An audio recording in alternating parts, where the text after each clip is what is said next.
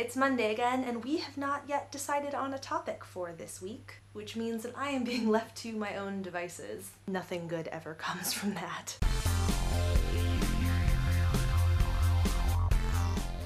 Last week was kind of weird. Brittany's internet crapped out on her. Rhiannon had a friend come over this weekend and potentially baked with her.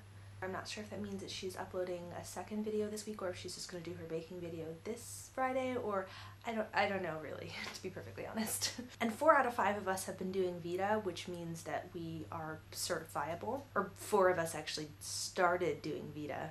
I think that Emily will be the only one to successfully complete all 30 days of VEDA. Woo! It's weird because the three of us who are actually abroad right now are all abroad studying and the semester is coming to a close, which means that we're going home soon. Or sort of. I mean, Gael's situation is a little bit different. And I still have my summer classes, so I won't be home until August.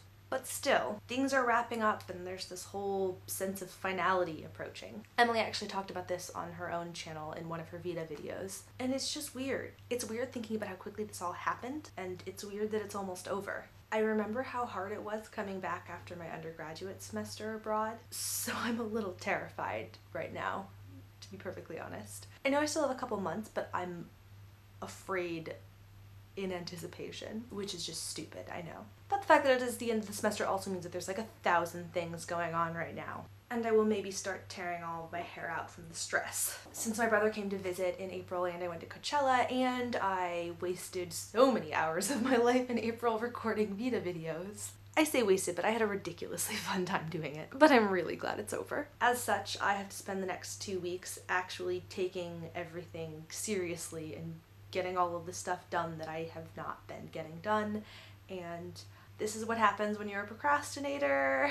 You just inflict terrible things on yourself all the time. This wasn't really a conversation starter video. I'm using my position as Monday to declare this week a free-for-all. Brittany, I don't know if you have internet again yet or not, so hopefully I will see you tomorrow. If not, I'll see you later and I'll see Emily on Wednesday.